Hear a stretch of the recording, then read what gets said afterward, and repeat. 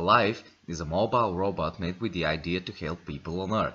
A few of its sensors are for measuring temperature, humidity, and pressure. The data gathered for the weather conditions is sent to a universal Windows app and it's locally stored. The data can be visualized in charts and used to make weather forecasts. With the information from the soil moisture sensors, the app tells the nature of the soil. Based on that, Alive helps people working on grasslands without the internet connection.